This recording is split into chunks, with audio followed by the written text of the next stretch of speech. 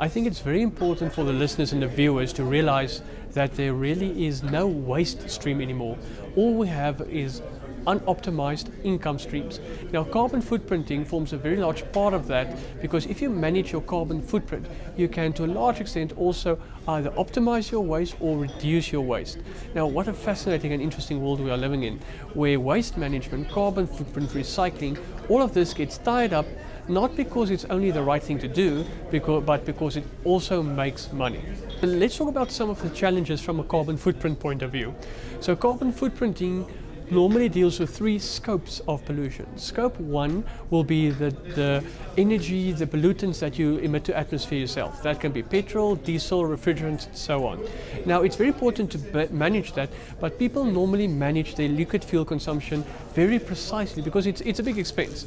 Now, second to that will be scope two emissions. Now, scope two emissions in the South African context for most people will be electricity, and that will be mostly Eskom electricity.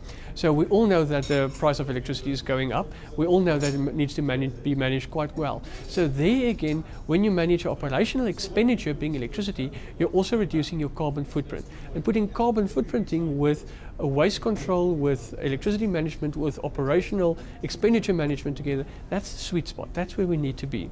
If we then move to scope 3 emissions, scope 3 emissions will be, for lack of uh, difficult uh, or easy definitions, let's just say everything else. That will be business travel, it will be car rental, a part of business travel, or flights, it will be paper consumption, and so on. And we know that we need to manage that. It doesn't say we shouldn't fly, use paper, use car rental, but how do you use it in a most efficient way?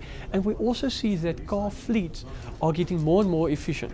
I mean, you, do, you get new vehicles now, still internal combustion engines, which are more efficient. A four-seater car is more efficient than a 112 125 cc scooter.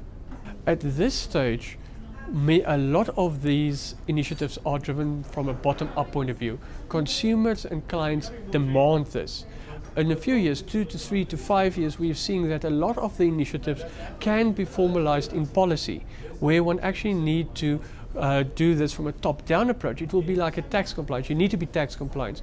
You uh, probably need a BE certificate to be part of a, a, vendor or procurement system.